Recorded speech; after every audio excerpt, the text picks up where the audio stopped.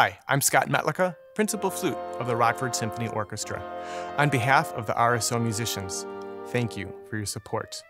We love making music for you and truly hope it brings joy, comfort, and respite, particularly in this unusual time. Even when we have an audience, ticket sales do not cover the cost to produce a concert, making donations essential. We are thrilled to be offering this performance for no charge, but I hope it may inspire you to make a contribution to the RSO. Please click the donate button on our website, rockfordsymphony.com, to ensure that we can continue to provide vibrant musical experiences.